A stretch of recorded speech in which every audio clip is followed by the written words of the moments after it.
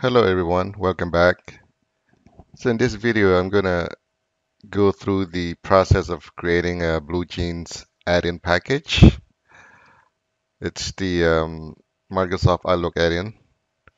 So the BlueJeans, I'm going to need to download the uh, the deployment versions of BlueJeans add-in.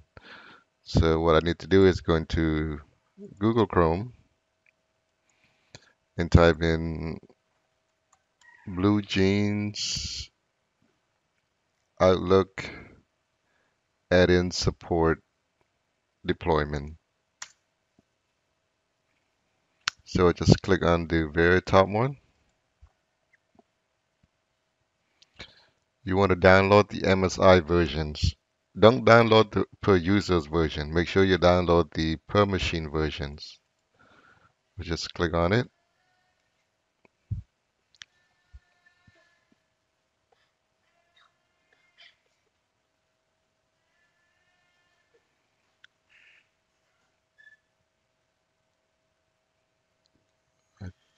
Think it has been downloaded. Let's see.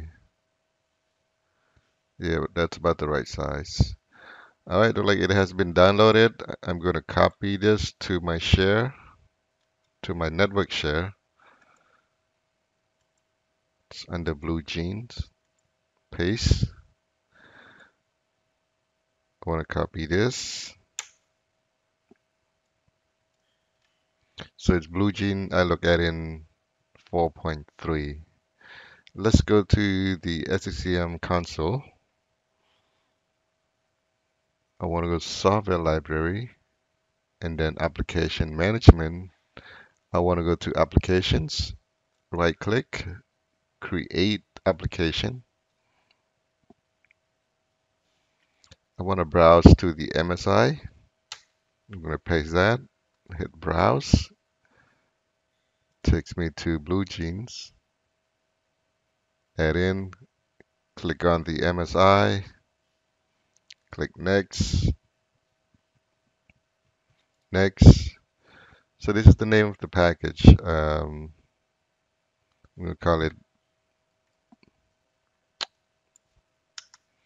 BlueJeans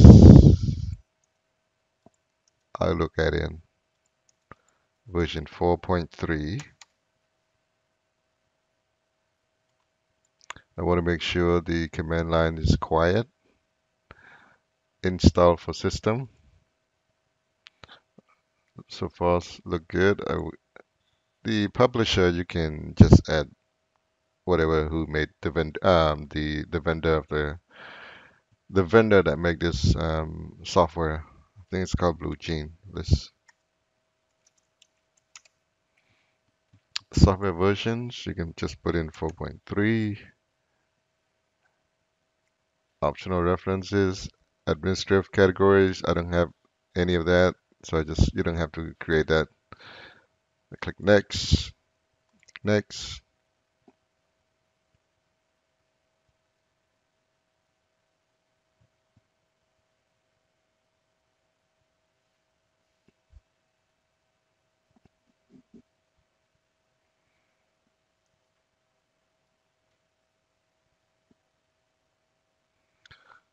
It's finished. I want to click close.